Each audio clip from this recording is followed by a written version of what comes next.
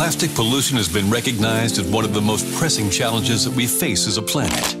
And only we have the power to change that. So, on June 8th, World Oceans Day, Boom 94, Power 102 and Swim SWMCOL partnered with Suntory, along with the Green Circle, Lucozade and Ribena for their World Oceans Day beach cleanup. Together, we can protect and restore our oceans. And as friends, families, communities, and companies, everyone has the opportunity to make positive change. Because the greatest threat to our planet is the belief that someone else will save it.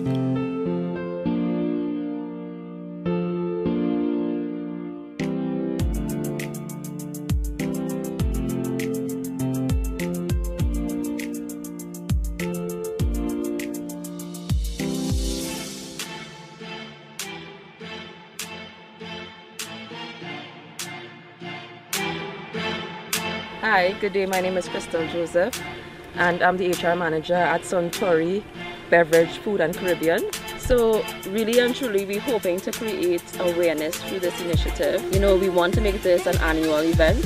So, we are encouraging teams like Yuma, We the Fun, even stations like Power 102, Boom, and other stations across the nation and Caribbean to take part, other committees throughout the nation to take part, because we have so much responsibility in terms of taking care of our environment, taking care of the ocean, and we want to continue that positivity and responsibility and accountability in terms of taking care of our nation's coastal areas, oceans. I want to encourage all citizens of Trinidad and Tobago, even the wider Caribbean, to look out for other initiatives similar to this one. We will be doing this annually.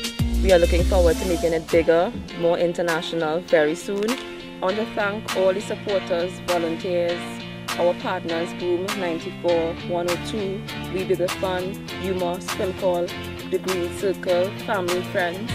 For everyone that came out today, thank you, thank you, thank you so much. Suntory Beverage, Food and Caribbean will be doing this regularly. Look up for more positive initiatives like this from our brands like Ribena and Lucozade. World Oceans Day Beach Cleanup. Powered by SWMCOL, Power 102, and Boom 94. In association with Suntory. Along with the Green Circle, Lucozade, and Ribena.